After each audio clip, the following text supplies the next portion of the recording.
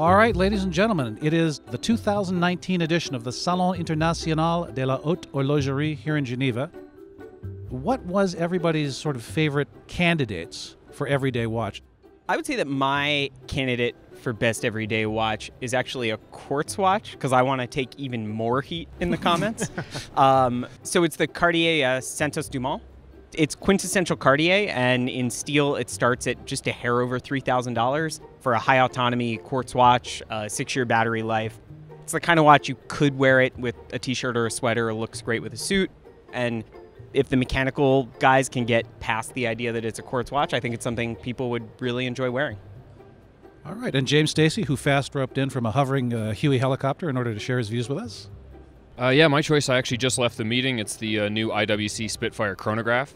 So it's now been downsized into 41 millimeters. It's amazing on wrist. It starts about 5,700 bucks, and it's an in-house 69,000 series chronograph. And I think it's an absolute winner for both its price point and in terms of style, and getting you into arguably their strong suit for a sports watch at a, a price that's really reasonable.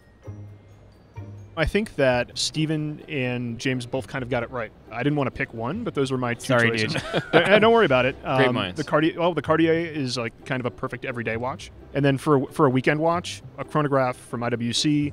That's going to run you about six thousand dollars with, I think, an in-house movement and um, a great-looking bronze case that will develop some age over time, and that could be really fun to own. And neither one of them is really going to uh, kill you from a financial standpoint. Wow. All right, thanks, John. All How right, so about you, Jack? Uh, so funny little thing about that Quartz Santos and that IWC Spitfire Chrono. I happened to pick the same two watches. Partly it's cost, right? This is the SIHH, and you know it's a little hard to say, you know, like a full gold AP is, uh, you know, is a quote unquote everyday watch. Although I think we actually have said that in the past.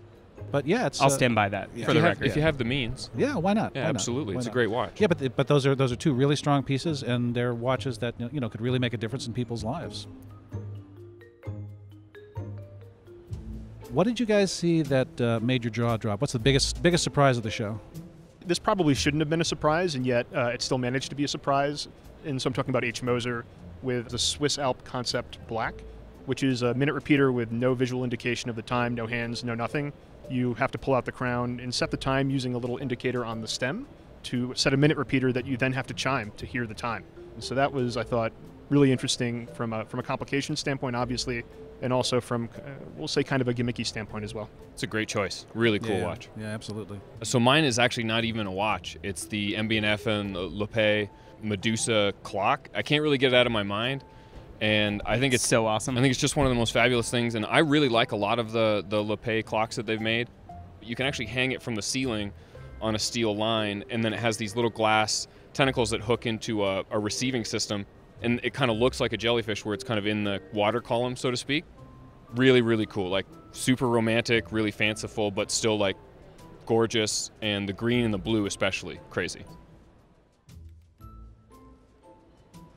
I think my biggest surprise wasn't a watch, but was actually a reaction to a watch. I expected there to be some pushback against AP for Code 1159.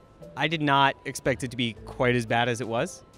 And, you know, it's AP doing something that's not the Royal Oak. It's not a super traditional watch. I get it. They're going to get pushback. That was never in doubt.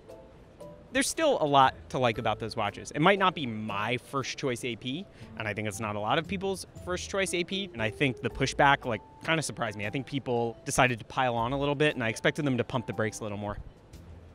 Yeah, my biggest uh, surprise was Code 1159, and there were actually two surprises. The first was my own reaction when I finally saw them in person last Saturday night. They look much, much better to me in person than they did in the photographs. These are watches that really live in the details. There's a lot of little stuff going on. They behave a certain way when they're in motion that you really can't pick up in photographs. I. I thought to myself, all right, maybe these guys are onto something here. Maybe I, you know, maybe people should reserve judgment until they get into boutiques a little bit later on this year and, and people see them. And the second surprise was, uh, you know, I like you really did not feel good about the bandwagoning. And you know, I have to say honestly, it made me feel bad about us. It made me feel bad about the watch community. It made me feel bad about the online watch community. One of the greatest things about watches and watchmaking is that it connects us to craftsmen and craftspeople who in many cases for generations have devoted their lives to making this stuff. There's close to a thousand people who are probably responsible for bringing these things to market. The same human beings that we revere when they get it right, uh, we should respect even if we think they got it wrong. Guilty pleasures. What did you see that you uh, hate yourself for loving? Uh, so I started my day this Steven. morning at Piaget's booth. They had a full flooded out Altiplano flying tourbillon. It had baguette set bezel, a baguette subdial. It was a great reminder when a high jeweler who really has know-how in that space Right. uh, right. does something like that. It's not an afterthought at all. Been good at it for decades, and they're not going to stop being good at it. Hundred percent. Yeah. James? if we're talking about you know something a little bit more of a guilty pleasure is you know the the Vacheron Constantin overseas perpetual calendar in the ultra thin. Now they've got a full matching pink gold bracelet, and that's totally my jam. Yeah, yeah, yeah. How about you, John? Absolutely. My ultimate guilty pleasure has got to be Bon Bon from Richard Mille. These are crazy looking watches. They are not only inspired by fruit, they have actual depictions of fruit on the dial. But underneath the dial, they are real Richard. Candy and cotton candy. Cotton in- candy. Oh, so yeah, and candy and cotton candy. This is Richard Mille uh, kind of owning the way that people view him and what his watches have come to mean uh, in high-end watchmaking circles. So I think they're very cool pieces. Yeah, actually, uh, I had the same choice, and you know, kind of for the same reasons. I think you articulated it really well. It's almost as if he's, uh, you know, pointing out to people who take him and his watches and the price point that they exist at too seriously that hey, this is meant to be fun. The last, last thing, the real last thing, uh, favorite complication.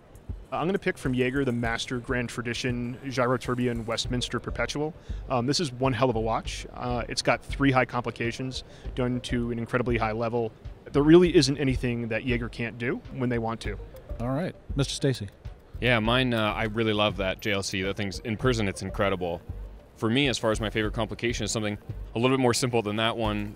You know, the A Lange and Söhne, Richard Lange jumping seconds. Yeah, I love that watch. now in white gold, still 40 millimeters, black dial, and there's something about that dial that gives it a little bit of a sportiness, as a few little red accents. You still get obviously the big animation from the jumping seconds, and it's just so good on wrist. I think the Richard Lange jumping seconds is the watch I would want personally. That movement is incredible. It's like maybe the most beautiful serially produced movement in the world right now. Maybe I mean, you can make a case for that. it's Absolutely. it's definitely up there. And I like that they they came out with a watch that is as serious as a watch can possibly get, but they they toned it down a little bit. You can wear it and it doesn't feel quite quite so uh, quite so intense. So what blew you away at the show? I mean, me, it was the Vacheron Constantin twin beat, uh, Le Cabinotier Ooh, twin very beat. good choice. Uh, to me, it really sums up modern watchmaking. There's the twin beat complication, which is, uh, you know, it's technically absolutely fantastic. Two oscillators, each vibrating at a different rate. You can switch to standby mode. You've got a 65 day power reserve, never been done before. Both of these things are so hilariously unnecessary, but boy oh boy, am I glad this watch exists.